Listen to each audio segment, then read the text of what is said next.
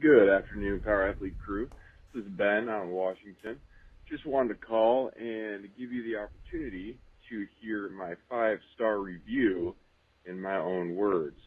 Uh, a long-time listener, I remember the week the Fred Hatfield podcast dropped, uh, and I went all the way back as far as I could. I believe it was like around episode 10. So, I'm sorry. been listening for a while, never called, never left a review, so it's only fitting that the first one I do, I read for you.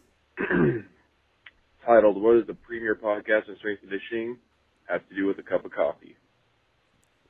The premier podcast in strength conditioning is like a well roasted cup of coffee. At first glance, it looks like every other cup, except this one is hot.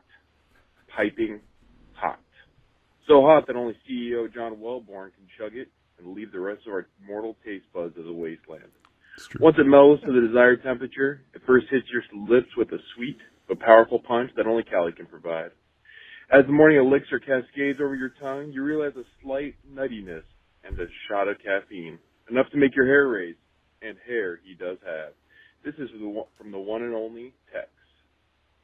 Lastly, there's a strong finish that is reminiscent of diesel freshly siphoned out of that 1987 square body. This nostalgia can only be provided by the one and only John Welbourn, aka the big guy.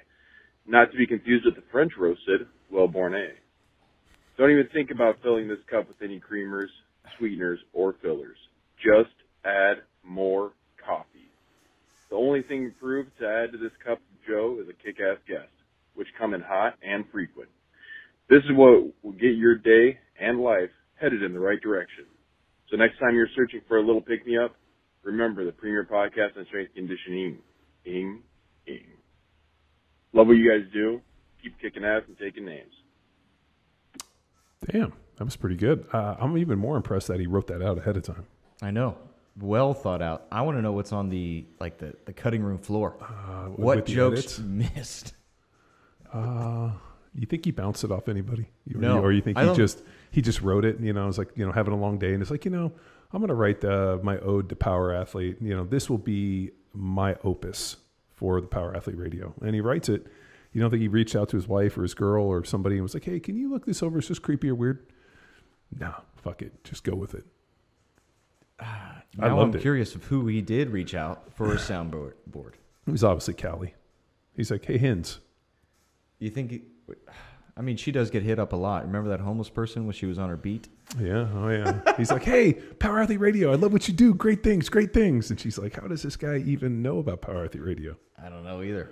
Uh, well, that is a five star voicemail. If we could get him to actually type that into a five star review on, uh, I have the voice to text. I can just cut and paste it for him. Yeah, that's true. We could.